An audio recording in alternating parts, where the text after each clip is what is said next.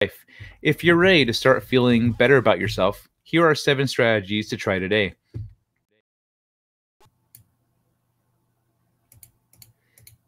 Okay. There we go. Uh Chi, you don't have any self worth. I mean, you don't have any worth, so you shouldn't feel any self worth. Because really, if you're like just going into a YouTube just to spam in the chat, you are clearly worthless, and you acknowledge that, which is why you're here. Doing that instead of doing something productive or spending time with someone who loves you, because there is no one. Uh, feeling badly about who we are does little to bolster our well being and quality of life.